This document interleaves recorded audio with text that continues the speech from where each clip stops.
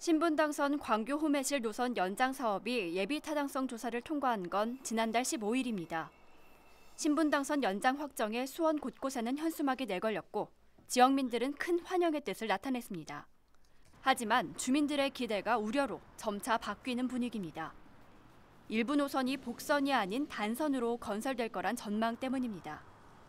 신분 당선이 연장되면 광교와 호매실 사이에 가칭 월드컵 경기장과 수성중 사거리, 화서와 호매실역 등 모두 4개의 역이 들어섭니다.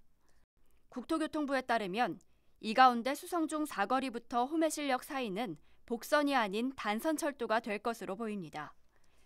9.7km의 노선 연장 가운데 5.7km, 절반이 넘는 규모입니다. 문제는 단선 철도가 되면 열차 교행이 어렵다는 겁니다. 신분 당선 열차가 한 역을 이동할 때 걸리는 시간은 2분 30초 내외, 역 정차 시간 24초 내외까지 고려하면 수성 중 사거리에서 호매실역까지는 대략 6분 이상이 걸릴 전망입니다. 단선 구간에서 오가는 시간만 봐도 12분 이상의 간격이 벌어지는 겁니다. 여기에 열차 방향 전환 등에 들어가는 시간까지 고려하면 배차 간격은 더 벌어질 가능성이 있습니다. 일부 단선으로 운행되는 경원선이 대표적 사례입니다. 현재 경원선은 수요산과 동두천역 사이 2.5km 구간이 단선으로 운영되고 있습니다. 한국철도공사에 따르면 왕복 이동 6분에 더해 방향 전환과 직원 교대 등으로 최소 배차 간격을 20분으로 두고 있는 실정입니다. 다만 국토교통부는 단선 구간이 5.7km 전체로 구성되진 않을 거라고 밝혔습니다. 전철역 플랫폼 부분은 복선으로 설계해 배차 간격을 좁힐 수 있다고 보고 있습니다. 배차 간격에 우려를 나타내는 건 차량 기지가 있는 광교역 주민들도 마찬가지입니다. 연장 노선이 광교 중앙역에서 월드컵 경기장으로 바로 연결하도록 결론 나면서 광교역으로 드나드는 열차가 줄어들 거란 걱정입니다.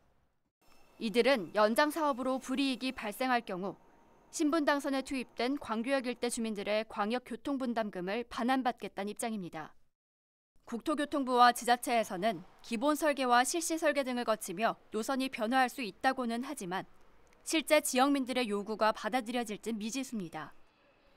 종합평가 등을 통해 어렵게 예비 타당성 조사를 통과한 만큼 비용이 늘게 되면 사업이 아예 좌초할 수도 있다는 우려가 나오고 있습니다. 100%그 지방비 부담이 된다라면 모르겠는데 재정의로는 이렇게 안 해줄 겁니다 이게 사업비가 15% 이상 증액이 되면은 다시 재탈을 해야 돼요. 지금도 어렵게 이제 통과된 건데. 지역의 오랜 수건 사업이었던 신분 당선 광교 호매실 연장 사업. 국토부와 경기도, 수원시 등은 오는 2023년 착공을 목표로 협업에 돌입했지만 벌써부터 반쪽짜리 노선이라는 비판이 나오고 있습니다. 티브로드 뉴스 김효승입니다.